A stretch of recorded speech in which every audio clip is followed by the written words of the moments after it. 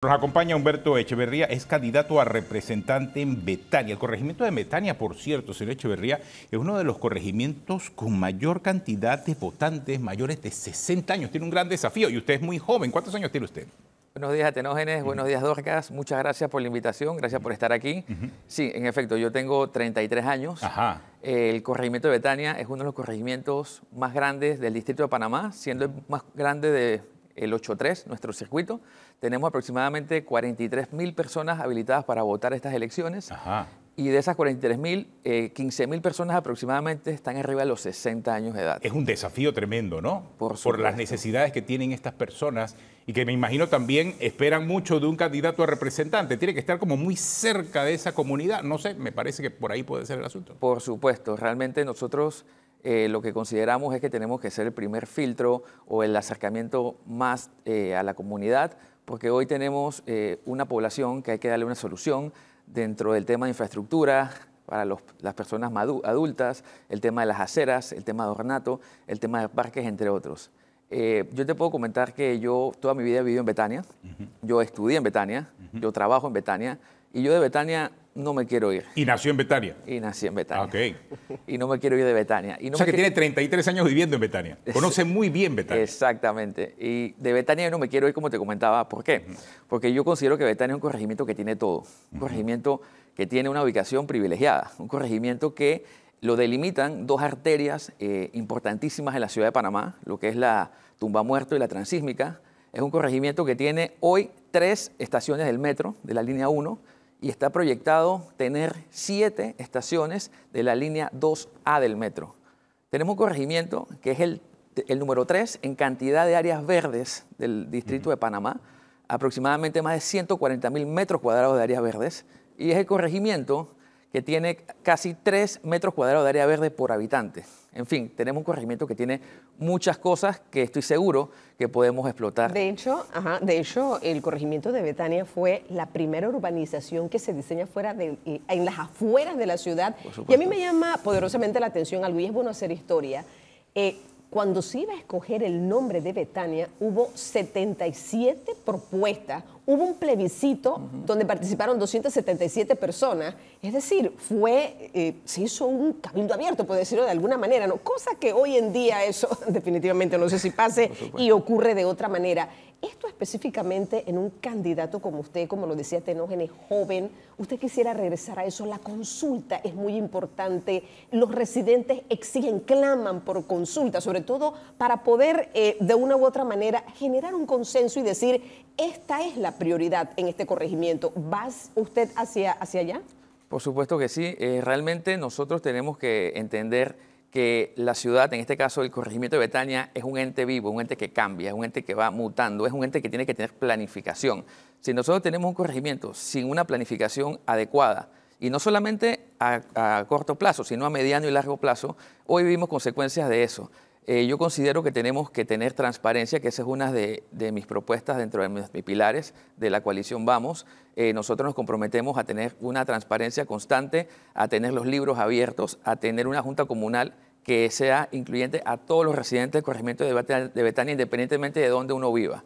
Nosotros creemos en la rendición de cuentas y nosotros creemos que todos los betanienses nos merecemos mucho más y es por eso que estamos postulándonos aquí a esta candidatura. Ahora, usted le ha tocado, aquí es a la inversa, porque muchas veces decimos, bueno, los candidatos tienen que ver cómo obtienen el voto joven, redes sociales y demás, cuesta a veces un poco, pero acá es de la juventud a personas que de repente no necesariamente están en ese mundo eh, tecnológico. Entonces, ¿qué hace usted? Usted ha tenido que tocar puertas necesariamente para presentar esas propuestas.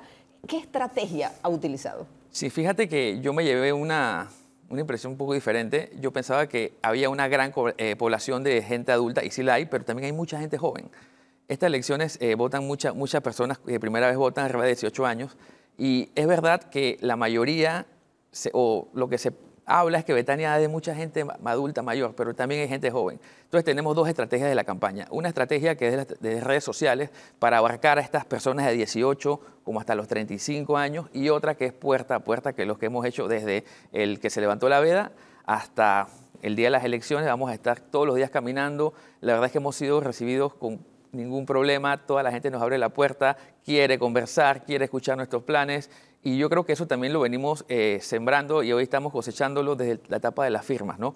Porque trabajamos muy duro en el, tema de las firmas, conversamos mucho, conocimos muchas personas y hoy podemos volver a esas casas y nos reciben con las puertas abiertas. Pero Dorcas tocó un elemento importante en la historia de Betania eh, y para los residentes de allí era muy recordado el tema de las consultas públicas. Desde el punto de la forma en que se escogió el nombre de la comunidad, que fue una de las primeras comunidades suburbanas planificadas, hasta la toma de decisiones importantes para la creación de parques dentro de las comunidades, algo que muchos de los residentes, quizás mayores de 60 años, añoran y porque dicen que a lo largo del tiempo se ha olvidado eso, que ya en Betania las decisiones se toman y nadie se da cuenta de las decisiones que se están tomando.